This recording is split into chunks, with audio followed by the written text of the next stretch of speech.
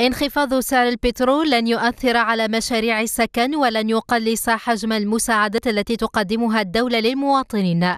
هذا ما أكده المدير العام لصندوق السكن أحمد بالعياط في تصريحات للإذاعة الجزائرية أين أشار إلى أن المشاريع السكنية التي طور الإنجاز تمول بصفة عادية وسكنات عدل تمول من طرف القروض البنكية ونسبة الفوائد تتحملها الخزينة العمومية للدولة. المدير العام لصندوق السكن أكد أن الأخير قام بتمويل مشاريع السكن بمختلف الصياغ بقيمة 548 مليار سنتيم سنة 2014 و335 مليار منها خصصت للسكن الاجتماعي في حين وصلت حصيلة الثلاثي الأول لسنة 2015 136 مليار 2014 قمنا بتسديد تمويل السكن بجميع صفاته نعم. بمستوى 548 مليار دينار. السكن الاجتماعي كان هو كان له حصة الأسد ب 335 مليار دينار.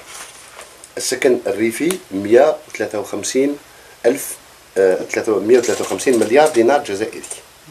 والصيغات الأخرى كما البيع بالإيجار لأن كنا هذا كنا انطلقنا في المشروع هذا جديد نتاع 50 ألف و100 ألف صرفنا 32 مليار. وبخصوص شروط الاستفادة من إعانة الصندوق الوطني للسكن قال بالعياط إنه لا يجب أن يكون دخل الزوجين يفوق 108 ألف دينار شهريا كذلك عدم الاستفادة من إعانة الدولة للسكن بأي صيغة أخرى وعدم ملكية أي سكن أو قطعة أرض للبناء. الاستفادة من الإعانة هي محددة في مرسوم وهي كالتالي ما لازمش الزوجين يكون عندهم مدخول يفوق 108 ألف دينار. يعني, يعني 10 ملايين و800 أو 800 كذلك ما لازمش يكونوا استفادوا من إعانة نتاع الدولة للسكن بأي صيغة كانت.